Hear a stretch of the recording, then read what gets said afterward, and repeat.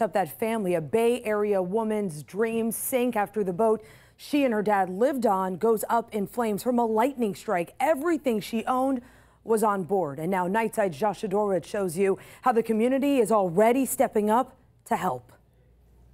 Dreams fulfilled, the chance to own that type of a boat. Uh, it was a dream that fit perfectly on a postcard. Now one of the only pictures left after the dream went up in smoke. It, it just didn't seem real. It really, it didn't.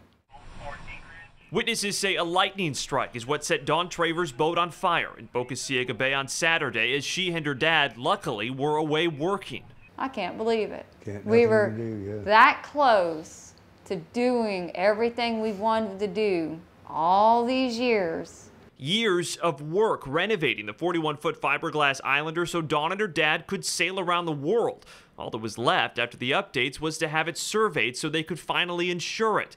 They'd already moved all of their belongings onto it, including Dawn's adaptive equipment to help her read because she's legally blind. I don't get it.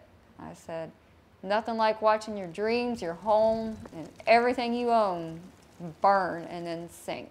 This is the point where I was going to show you what's left of the boat. Unfortunately, though, they've got to figure out just what they're going to do because it's now sitting at the bottom of the bay. What do you do?